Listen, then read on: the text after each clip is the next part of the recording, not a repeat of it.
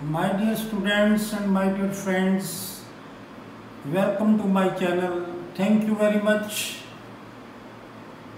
Today's our topic is articles a and the. प्यारे बच्चों articles बहुत छोटे छोटे शब्द हैं लेकिन नाउन्स एंड एडजेक्टिव्स के साथ ये अक्सर आते हैं और अक्सर ही हम इनके प्रयोग में गलती कर देते हैं। इसलिए इनको बड़े ध्यान से आज सीखना है आपने। These are three words three letters a and दो प्यारे बच्चों a means one and an means one for example one cow one horse one girl In other words, every time we should not use words one, one, one. We can say for our convenience a cow, a horse, a girl. It means one. And n means also one. For example, one hour, one apple, one ink pot. We can say an hour, an apple, an ink pot. प्यारे बच्चों a and an is called indefinite articles and the is called definite article प्यारे बच्चों, इनको demonstrative adjectives भी कहते हैं, क्योंकि ये डिमॉन्स्ट्रेट करते हैं नाउन के आगे आते हैं एडजेक्टिव्स के आगे आते हैं, और हमें बताते हैं कि ये चीज़ कितनी है। ठीक है? प्यारे बच्चों ए और एन का मतलब वन है तो ये हमेशा सिंगुलर नाउन के साथ ही प्रयोग होंगे। ठीक है? We can not say a chairs and apples no this is wrong chairs में ज़्यादा कुर्सियाँ।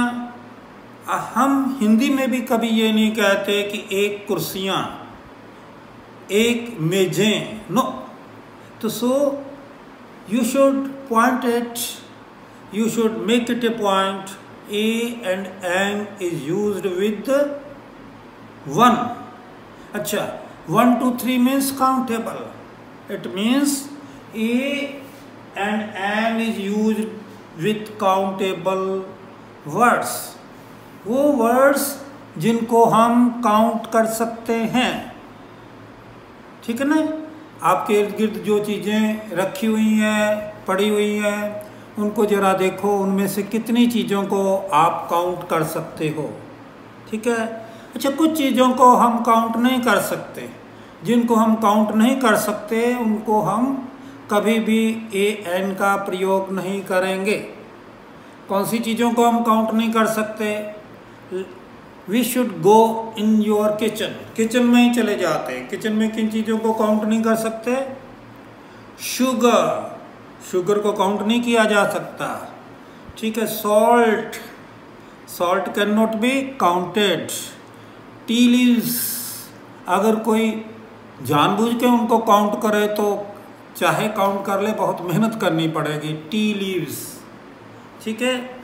Then there is water in your kitchen. Your mother has the milk for you to drink. ठीक है? मिल्क मिल्क को count कर सकते हो? नहीं. ओके जो चीज़ें काउंट नहीं होती, उनका सिंगुलर नहीं होगा. अनकाउंटेबल नाउन्स ओके मैंने कुछ उदाहरणें आपको दी हैं। ये चीज़ें काउंट नहीं होंगी तो इनके साथ ए और एन का प्रयोग कभी नहीं करना है। ठीक है? एक रूल और है, जितने भी लिक्विड्स हैं लिक्विड्स को हम काउंट नहीं कर सकते बेटे। तो उनके साथ ए और एन का कभी प्रयोग मत करना ओके अच्छा बच्चों, आगे क्या है कि I will tell you a और एन दोनों कहाँ कहाँ आते हैं। First of all we will take an N is used for vowel sound. Vowel sound के साथ आता है vowel sound. There are five vowel sound. बच्चों, vowel sound कौन सी होती हैं कभी आपने छोटा बच्चा देखा जो अभी अभी पैदा हुआ है, एक, दो, तीन, चार दिन का है, या चार, पाँच महीने तक का भी है जो आवाज़ वो बच्चा पैदा होने के बाद निकालता है कोई उसको नहीं पढ़ाता, कोई उसको नहीं सिखाता उन साउंड्स को, उनको वाउल साउंड कहते हैं। सबसे पहले हम वाउल साउंड ही इस्तेमाल करते हैं पैदा होते ही। कौन सी कौन सी हैं here are five main vowel sound A E I O what is sound इसको क्या बोलोगे आप? हाँ बताइए बच्चों। पांचवी साउंड को क्या बोलोगे? अक्सर ही 90 परसेंट बच्चे इनको कह देते हैं यू लेकिन जब हमने वॉल्स के बारे में बात करनी है don't say it you it should be ऊ तो कौन कौन सी वॉल साउंड हो गई? ए ई आई ओ ऊ ओके एक बात और मैं बच्चों यहाँ पे आपको बता देना चाहता हूँ। V O W E L ये वावल नहीं है। This is not vowel don't pronounce it vowel it's correct pronunciation is vowels ठीक है? तो इसको वाउल्स ही कहना है। These are vowel sound five types of vowel sound तो क्या है कि जो भी शब्द की शुरुआत beginning of the word is with vowel sound उसको उसके साथ एन लग जाता है। जैसे यहाँ पे एनिमी इसमें क्या शब्द है? Enemy E A A A enemy ox O S जिसका मतलब गधा होता है। ए, ए, एस ए की आवाज़ है। और नेस्ट ओ की आवाज़ है। ऑनरेबल ऑनरेबल ऑनरेबल ओ की आवाज़ है। तो we will use here before this an enemy ox bell को कहते हैं। O an ox S an S an honest man honourable and honourable आगे मैन आ जाएगा ठीक है? So an enemy an ox an S an honest an honourable an umbrella यहाँ ये यू जो है अ की आवाज़ दे रहा है। सो so, बच्चों आपने एक बात समझ ली होगी कि हमने जैसे कि कुछ बच्चे ये समझते हैं कि आगे ये शब्द आने चाहिए ओ आ गया ए आ गया। ये नहीं, हमने आवाज़ को ढूंढना है कि आवाज़ वोल्स की आ रही है या नहीं आ रही, ठीक है? इसमें आवाज़ देखनी है ऑक्स एस यहाँ पे शुरुआत एच से है। किससे है ये? एच से है। लेकिन आवाज़ हमने जब शब्द को प्रोनाउंस किया तो this is honest this is honourable और शुरुआत अच्छे से है, ठीक है? इसी तरह से umbrella so this was all about a and an let's come to the the is a definite article दो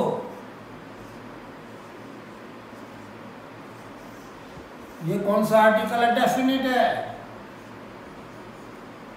और ये हमें डेफिनेट ही करता है. कोई चीज़ आपको चाहिए, कोई भी चीज़ है, वो डेफिनेट हो जाती है पर्टिकुलर हो जाती है, विशेष हो जाती है। प्यारे बच्चों, आपकी सुविधा के लिए मैं सिर्फ़ एक ही रूल दूँगा दो के लिए। कहीं भी आपको नाउन कोई में कोई इम्पोर्टेंस नज़र आ जाए कि ये नाउन इम्पोर्टेंस रखे हुए है, विशेषता रखे हुए है पर्टिकुलर है, विशेष है, उसके साथ आँखें बंद करके दा लगा दो। ठीक है? एक मैं आपको उदाहरण देता हूँ कि एक बार my father desired an apple to eat तो मैंने एप्पल लिया, काटा और उन्हें दे दिया। उन्होंने देखा तो मैंने कहा, कहते हैं वो मेरे को आई वॉन्ट द एप्पल मैंने कहा, पापा, कौन सा apple I want the apple which is there in the fridge in I want the apple which is in the refrigerator दो एप्पल उन्होंने क्या दिया एन की जगह, क्योंकि वो एक ख़ास एप्पल चाहते थे, जो कि फ्रिज में लगा हुआ हो, ठंडा हो, ठीक है? तो मेरे को किसी ने पूछा कि where do you live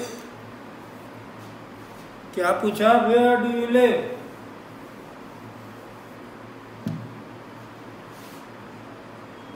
where do you live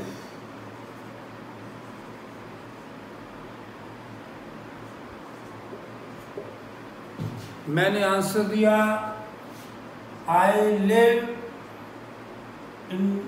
a which my father gifted me. I lived in the Bangalore which my father gifted me. अब बेटे ये जो बंगला है खास बंगला हो गया है खास बंगला है हैं यहाँ पे एक ही जगह दा का प्रयोग हो जाएगा। दो, खास बंगला कौन सा है जो मेरे फादर ने मुझे गिफ्ट किया?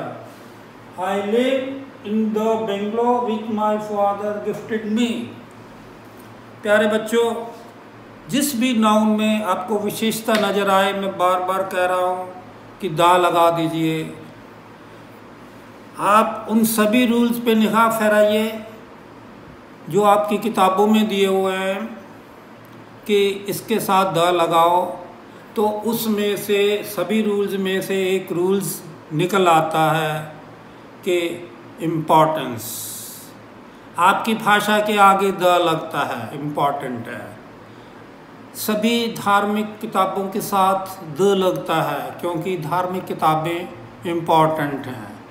ठीक है कंट्रीज़ के साथ द लगता है इंपॉर्टेंट हैं।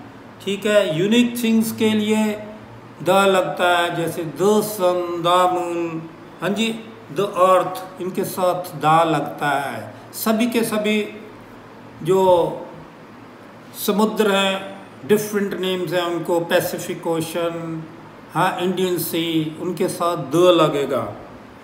अच्छा आपको डिग्रीज का पता होगा, जहाँ पे सुपरलेटिव डिग्री आ जाती, सबसे बढ़िया, सबसे ख़राब, उसके साथ गा लगता है। क्या मतलब? वो इम्पोर्टेंट चीज़ें बन गई हैं।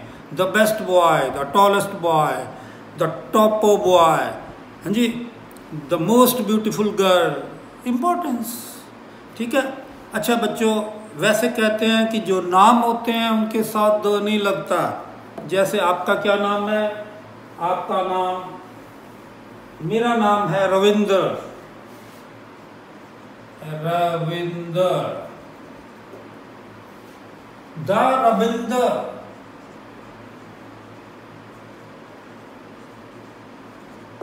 ये इसके साथ दो नहीं लगेगा। द इज़ रॉन्ग लेकिन यहाँ पे रविंद्र के साथ मैंने दो लगा दिया। जब मैं दो रविंद्र लगाता हूँ तो मेरा मतलब है दुनिया का सबसे महान लेखक Rabindranath Tagore. Okay?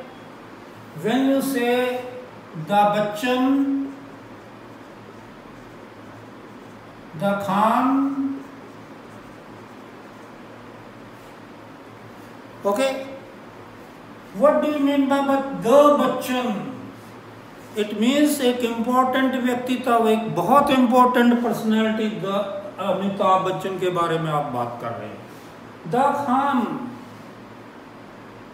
आप एक्टर के बारे में सलमान खान के बारे में बात कर रहे हैं, दो खान तो यहाँ पे जो एक नेम्स हैं हाँ जी पर्टिकुलर व्यक्ति को जो नाम दिए हुए हैं, उनके साथ भी दो का हम प्रयोग कर देते हैं। क्यों? क्योंकि उनमें हमने एक विशेषता भर दी। जहाँ भी बच्चों, आप विशेषता नाउन में देखते हो, मैं बार बार यही कह रहा हूँ वहाँ पे आँखें बंद करके दा का प्रयोग कर दीजिए। Thank you very much so nice of you I feel you must have understood this topic a and the article in a very nice manner मैंने पूरी कोशिश की है आपके लेवल पे आके आपको समझा सकूँ और आपको अवश्य समझ आया होगा।